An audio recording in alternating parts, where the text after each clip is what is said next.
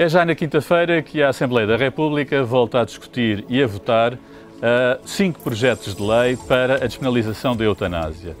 Uh, são projetos de lei apresentados pelo Bloco de Esquerda, Partido Socialista, Partido Pessoas, Animais e Natureza, Partido dos Verdes e Iniciativa Liberal, que pretendem consagrar na legislação a eutanásia. Uh, a eutanásia existe já em quatro ou cinco países na Europa, em Espanha está em processo de debate e em Portugal vai voltar a ser debatida depois de o Parlamento ter uh, chumbado a mesma pretensão há dois anos atrás. De qualquer forma, uh, pensa-se que a composição da Assembleia da República saída das eleições de 6 de outubro é mais favorável à consagração da eutanásia e por isso os partidos voltaram a apresentar projetos de lei nesse sentido. Os projetos de lei não pretendem que a eutanásia seja feita uh, facilmente, é obrigada, uh, o doente é obrigado a sofrer de doença incurável e duradoura, tem de ser maior de idade e tem que ter acompanhamento médico. No caso do projeto do PS, por exemplo,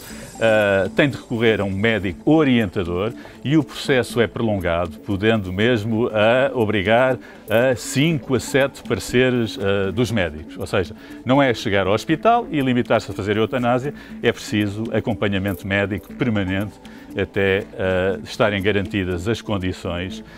e perceber-se que, de facto,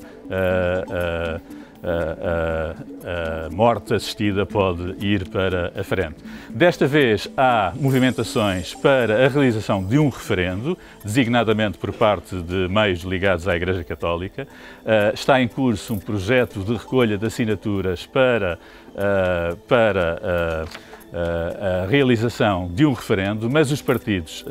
com representação parlamentar recusam essa ideia e, portanto, se esta proposta chegar à Assembleia da República, terá de ser por meios exteriores ao Parlamento.